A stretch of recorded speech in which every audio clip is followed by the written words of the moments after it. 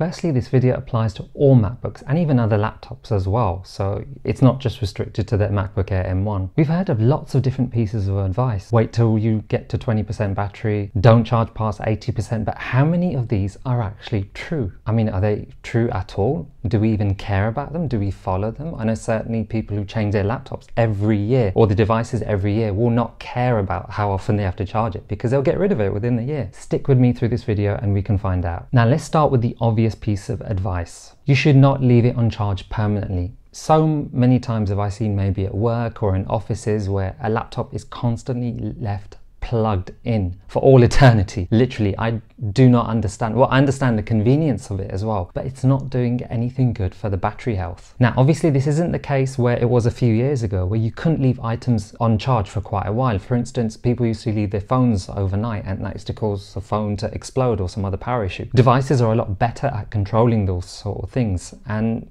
charging would stop if that ever happened. Safety features are a lot better now that prevent overcharging. Apple, for instance, which I'll talk about later, has got optimized charging for all their devices, but leaving it charged in, and I'll tell you why, is not a good thing. For instance, if you're at 50% battery and you pop it's on charge you're using it.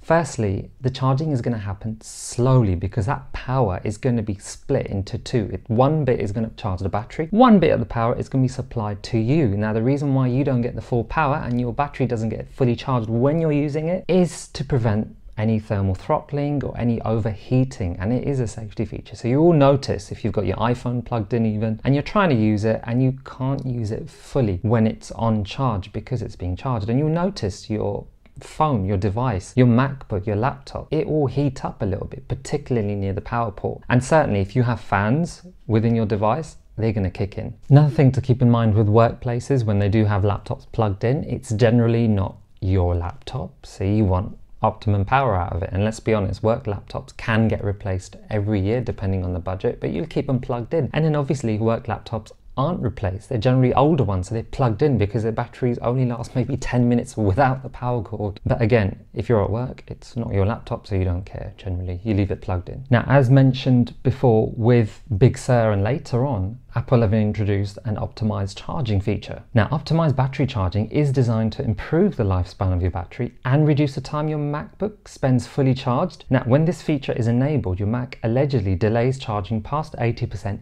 in certain situations. And your Mac is supposed to learn from your charging routine and aims to ensure that your Mac is fully charged when it's unplugged. So what about all this fully discharging your battery thing? This is not necessary. I know some pieces of advice say wait till 20%, wait till it's to 30%, but you don't need to. You can have it go all the way down to the end. I've done that with many of my Apple devices, and guess what? They survived. I've charged my iPhone, Nintendo Switch, and many other devices to 100%, and guess what? They all have survived. Modern lithium ion batteries are designed that way. They're designed for that purpose to be drained and then to be charged again. Now, obviously, if you plan on keeping your device for 10 years, you probably want to look into that wear and tear, but most of us are keeping our devices for two to five years. We don't need to worry about that sort of thing. However, I will admit it is bad if you're on 60%, you plug it in, you bring it up to 80. Then you bring it down to 40, you plug it in, and you bring it up to 60%. Stuff like that isn't good for the wear and tear, and even I wouldn't want to do that. Try to avoid using your MacBook when it is charging, and that's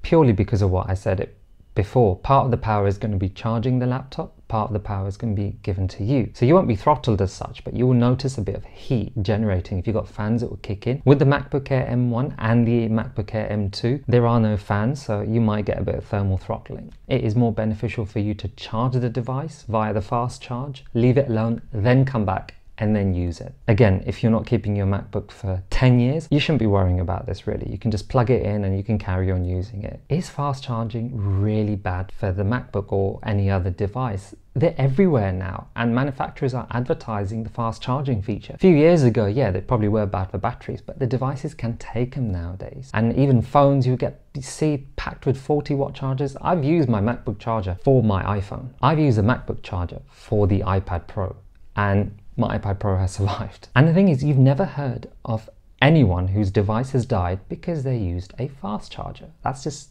not going to happen in this day and age. Ultimately, though, it's your device, so charge it how you see fit. If you're someone who changes their device every single year, you're not going to worry. You're going to charge it how you want, especially since Apple don't actually give any restrictions on how you should charge your device.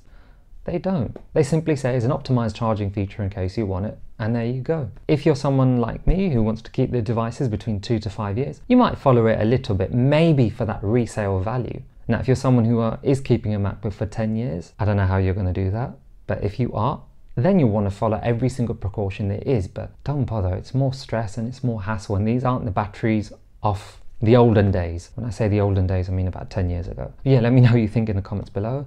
Uh, as always, like and subscribe, and until next time.